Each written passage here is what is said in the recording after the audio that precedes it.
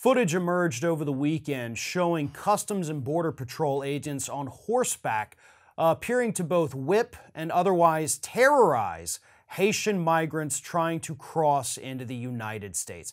Uh, here's a brief clip uh, from Twitter. So take a look at what these Border Patrol agents were doing to these migrants. Here it is.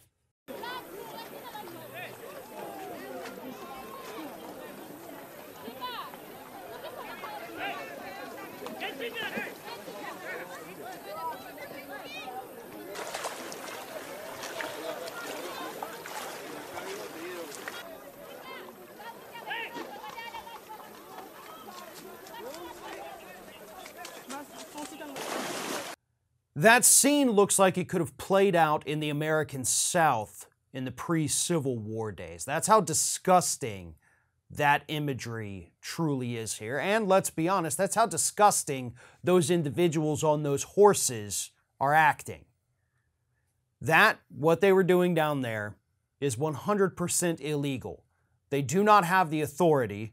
There is no law protecting them, allowing them to go down there and physically assault these individuals or terrorize them with 2,000 pound animals.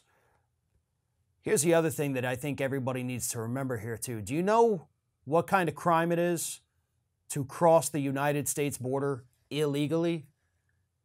It's a misdemeanor. So those people were, in fact, sure, committing misdemeanors under United States law, and this is the response they got. This is the welcome they got here in the United States. We're going to whip you. We're going to run our animals right up to you to make you fall back into the water. This is sick. And the White House yesterday was asked, Jen Psaki, press secretary, was asked about these videos and the images. And uh, she said, ah, you know, it's, it's horrifying, but uh, we got to look more into it and we'll get back to you. Then, of course, uh, you had Homeland Security head Alejandro Mayorkas, who said, uh, this is ridiculous. He said, well, to ensure control of the horse, long reins are used, but we're going to investigate the facts to ensure that the situation is as we understand it to be, and if it's anything different, we will respond accordingly. It's a lot of words to say absolutely nothing.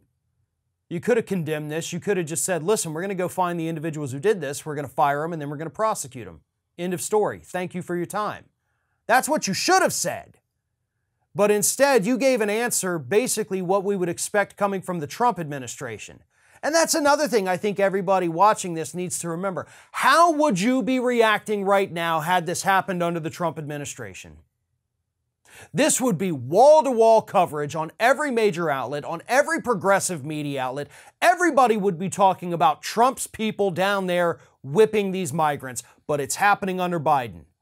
And it is not getting the attention it deserves.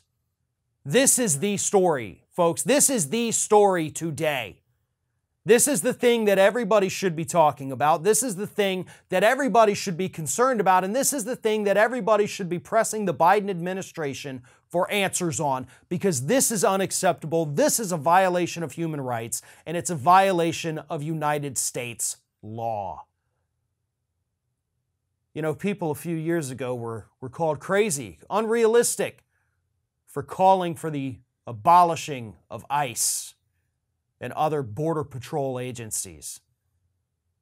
I think this uh, video, these photographs, what we're seeing them do down there right now, yeah, I think that fully justifies abolishing these agencies because clearly they're filled with individuals who would rather harm other people than actually, I don't know, protect America from, oh, the threat of people walking over this is ridiculous. This is horrifying. This country should be better than this, but we continue to prove that we're not.